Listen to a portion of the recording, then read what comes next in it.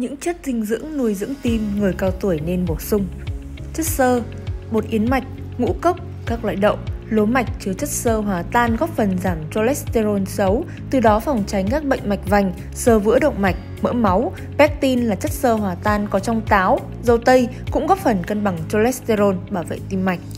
Vitamin D Loại vitamin này giữ cho tim khỏe bằng cách điều hòa huyết áp, cải thiện chức năng tim, chống viêm, chuyển hóa canxi.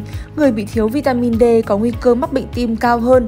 Người trưởng thành cần khoảng 600 IU vitamin D mỗi ngày.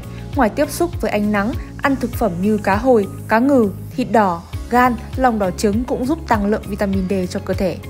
Omega 3 Omega 3 làm chậm quá trình hình thành các mảng bám trên thành mạch, giảm nguy cơ rối loạn nhịp tim và đột quỵ. Ăn cá hồi hoặc cá thu hai lần một tuần để bổ sung omega 3. Người bị thiếu hụt omega 3 có thể hỏi ý kiến của bác sĩ khi dùng thực phẩm chức năng.